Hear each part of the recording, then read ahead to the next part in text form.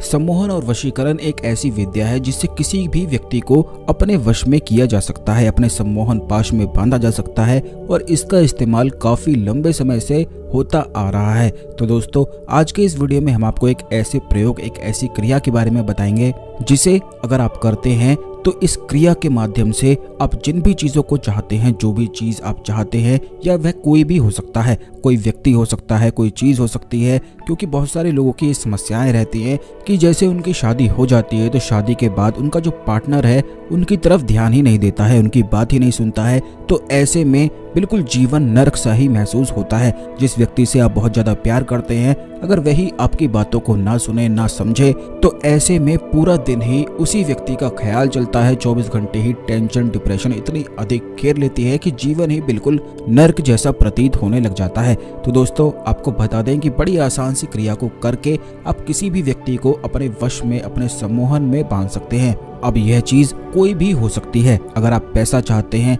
या फिर कोई ऐसी वस्तु चाहते हैं जो आप अपने जीवन में आकर्षित करना चाहते हैं या किसी व्यक्ति विशेष को अपने वश में करना चाहते हैं तो उन सभी चीज़ों के लिए इस प्रयोग को, इस क्रिया को बड़ी आसानी से किया जा सकता है। तो ध्यान से इस वीडियो को देखकर सभी बातों को आप बिल्कुल ध्यान से समझें, क्योंकि हमारे चैनल में हमेशा ही खास चीज़ें आपको बताई जाती हैं। तो इसीलिए सभी बातों को ध्यान से सुना करें, समझा करें, जिससे प्रयोग को सही से किया जा सके और आप इसका अधिक से अधिक लाभ भी उठा सके तो ध्यान से इस वीडियो को पूरा देखकर सभी बातों को आप समझ लें। लेकिन उससे पहले वीडियो को लाइक करके कमेंट बॉक्स में ओम नमः शिवाय, हर हर महादेव लिखकर भगवान शिव को प्रणाम कर लें, क्योंकि बिना उनके तो कोई भी चीज़ इस दुनिया में संभव नहीं है।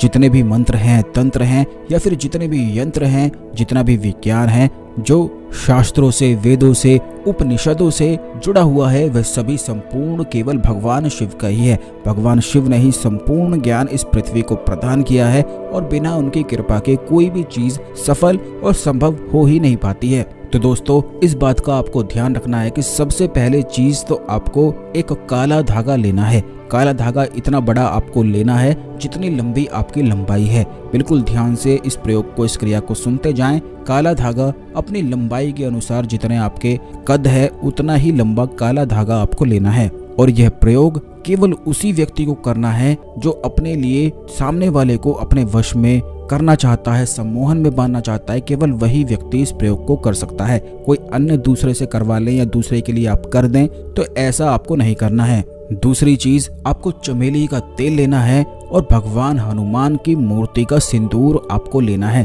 आपको बता दें कि भगवान हनुमान का जो सिंदूर होता है, उसमें वशीकरण की, सम्मोहन की अद्भुत शक्तियाँ विराजमान होती हैं। खुद भगवान हनुमान ने राम भगवान को अपने सम्मोहन में बांधने के लिए यह सिंदूर का प्रयोग किया था, जिससे वह हमेशा भगवान राम से ही जुड़े रहते हैं। तो दोस्तों, इस सिंदूर में सम्मोहन की, वशीकरण की अद्भुत शक्तियाँ विराजमान होती हैं तो यह सिंदूर चमेली का तेल और काला धागा आपको पहले ही लेकर आ जाना है, व्यवस्था कर लेनी है और उसके बाद सबसे पहले आपको करना इस प्रकार है कि इस धागे को कोई भी डिज़ाइन आपको दे देना है। यह आपकी लंबाई के अनुसार लंबा धागा है तो इसमें कोई भी डिज़ाइन बनाकर आप इसे डिज़ाइन दे सकते हैं, बनावट कर सकते हैं इसकी। अगर आप इसे गले में पहनना चाहते हैं तो गले के लिए बना सकते हैं, हाथ में पहनना चाहते हैं तो हाथ के लिए बना सकते हैं, लेकिन इस बात का ध्यान रखना है कि नाभि में आपको यह बिल्कुल भी नहीं पहनना है। गले में, हाथ में और भुजा में आप इसे केवल बाँध सकते हैं। तो उसी प्रकार जिस प्रकार आप इसे पहनना चाहते हैं, जहाँ भी बांधना चाहते हैं, उसी प्रकार आप इसे डिज़ाइन दे दें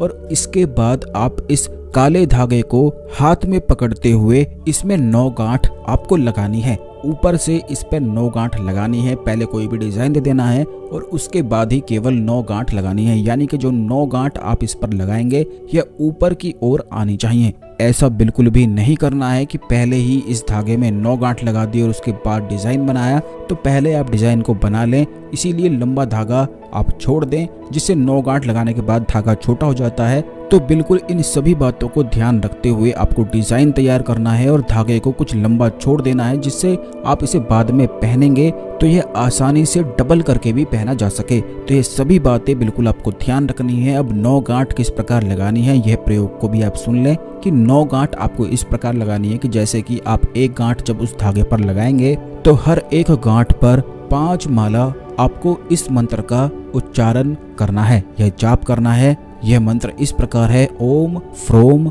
हन हनुमते, फ्रोम रामदूताय नमा। आपको बता दें कि फ्रोम जो मंत्र होता है, यह बीज मंत्र होता है, यह भगवान हनुमान का बीज मंत्र है और ये खास करके सम्मोहन के लिए, वशीकरण के लिए इस्तेमाल किया जाता है। अगर आपके जीवन में कोई शत्रु है, शत्रु आपकी बात नहीं मान रहा है तो शत्रु को भी अपने वश में, सम्मोहन में बांधने के लिए, क्योंकि जब तक शत्रु आपके वश में नहीं होगा, तब तक वह आपकी कोई भी बात नहीं मानेगा और हमेशा केवल आपको कष्ट ही देता रहेगा। तो इसी प्रकार इस मंत्र का उच्चारण आपको करना है। एक बार फिर से सुन ले। ओम फ्रोम हन हनुमते, फ्रोम राम रामदूताय नमः। बस इस मंत्र को हर एक गांठ पर पाँच माला जाप करना है। रुद्राक्ष की माला इस्तेमाल कर सकते हैं। अगर आप काउंट कर सकते हैं तो माला की भी कोई आवश्यकता फिर आपको नहीं है।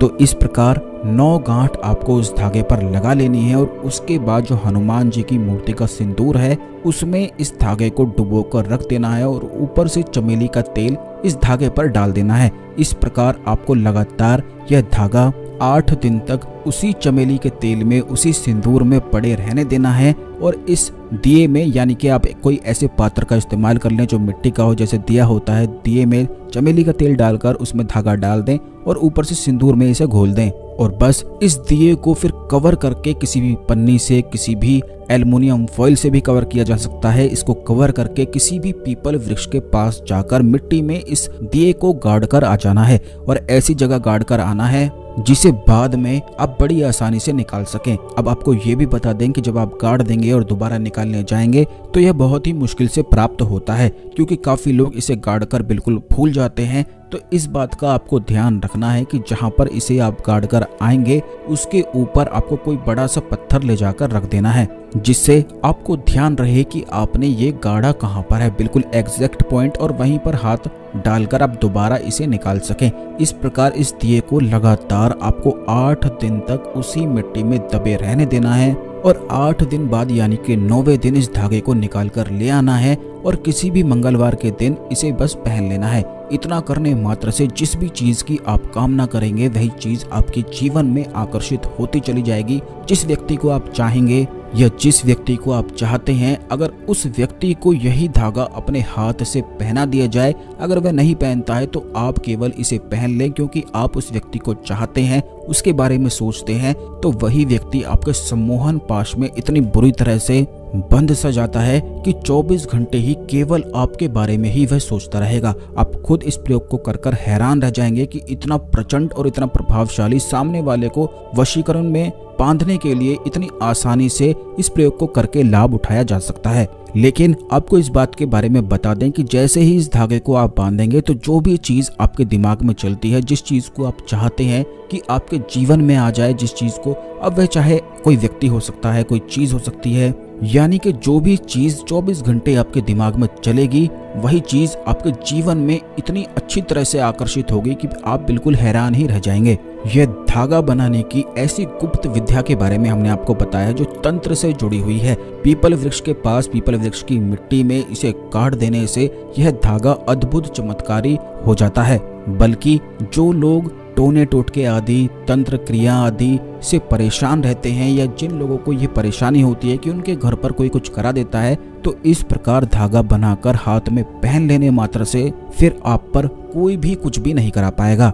यह काला धागा बनाने की ऐसी विद्या है जो बहुत कम लोगों को पता होती है। तो यह हमने आपको वीडियो में बताई है, जिसे आप बड़ी आसानी से खुद भी कर सकें, अपने लिए स्वयं काला धागा बना सकें और समस्त प्रकार की मनोकामनाओं की पूर्ति करा सकें, शत्रुओं से बच सकें, काले जादू से बच सकें और अपने जीवन में आगे बढ़ते ही चले जाएँ, क्योंकि हमारे चैनल में हमेशा खास चीज़ें आपको बताई जाती हैं। इसीलिए चैनल को सब्सक्राइब करके अवश्य बेल बटन दबाकर रखें, क्योंकि यह जानकारी आपको बाकी किसी और चैनल में नहीं मिलेगी। बेल बटन दबाने से वीडियो के नोटिफिकेशन आपको समय पर मिलते रहेंगे। तो आज के लिए केवल इतना ही, मिलते हैं अगले वीडियो में। ओम नमः शिवाय, हर हर महादेव।